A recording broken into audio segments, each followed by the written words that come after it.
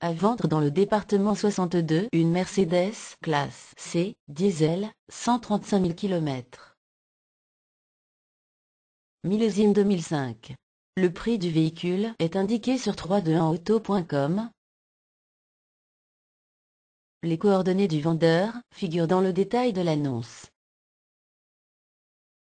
Retrouvez cette annonce sur 321auto.com en cliquant sur le lien dans la description.